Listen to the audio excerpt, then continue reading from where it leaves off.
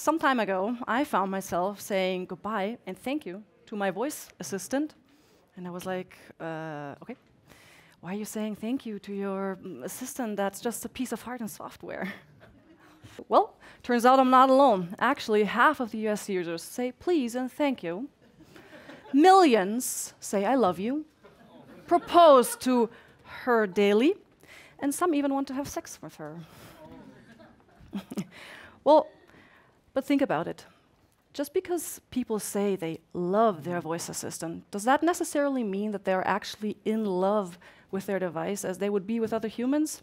If not, how do people actually relate to these systems that, you know, talk back to them almost like real humans? And that's what we wanted to find out. We studied around 1,000 conversational AI users by using a relationship theory from psychology. And here we found that people relate to their AI systems in three ways. First, the traditional master servant relationship, then a non hierarchical rational relationship, and a friend like relationship. Now, first, we found that only few actually see their AI system as a friend. That's not surprising because, after all, they are marketed as digital assistants. So it's not surprising that most of the people see their relationship as the actual master servant relationship. What we found interesting was that the rational, non hierarchical relationship was almost as popular as the traditional master servant relationship. In that relationship, people believe um, that they are somewhat on eye level with their AI system and they share control or power with the system. Now, this finding could be interesting for developers because how people relate to their systems may influence how they use it.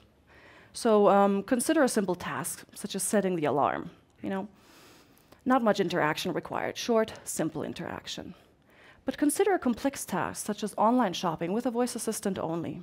Requires more engagement, multi-turn dialogues, potential data sharing, more financial risks. In other words, they share more responsibility. So if we want to use these systems for more complex tasks, it might make sense that we see them or design them more as partners in decision making rather than those mere order takers. So we wonder whether the role of the digital assistant as our servants will somehow go out of fashion. And we investigated this question by looking at voice shopping decisions. Specifically, we ask whether the way I relate to my voice assistant will influence what kind of products I buy. And here we differentiated cheap and simple products and complex and expensive products. And now hang with me, this needs your full attention. We made two assumptions. First, we thought that people who would relate to the system as friend or servant would be more likely to buy those cheap and simple products, like toilet paper. You don't have to think about a lot, you know, and you can easily uh, delegate this decision to your voice assistant because you trust it like a friend, or the task is so simple that you can easily delegate it to a simple servant. Second, we thought it was different for the complex, expensive products, like buying a laptop. This needs a lot of decision making, right? About the quality, the functions, and so on. And people might even need a sales agent to get advice. So we thought that for uh, these complex products, that people who see their assistant more as rational and you know, attribute some agency to the system would be more likely to buy those expensive products. Well, turns out we were right, but also wrong in our assumptions. The first assumption was right.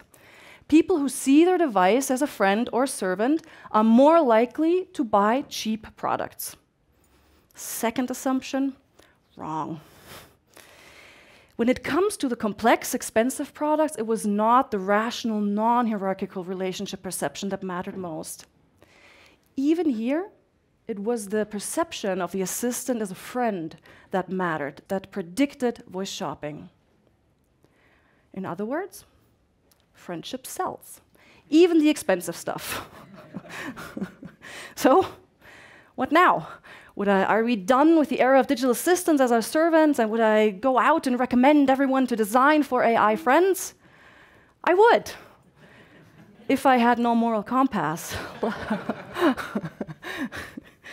I do believe that uh, humanizing machines is a blessing. It helps us dealing with them, and it's really also more, much, much more fun. But it also comes with a curse. It makes us vulnerable.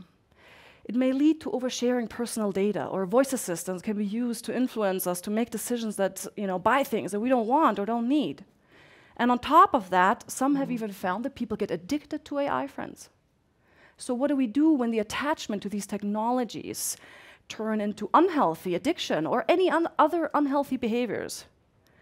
I don't think that we are anywhere near ready to deal with this. And this is why I strongly believe that we must better understand human AI relationships.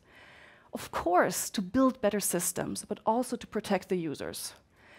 Because these psychological relationship mechanisms, they can be exploited so easily in many ways that may be very difficult to control. So please, think about that the next time you say thank you to your voice assistant.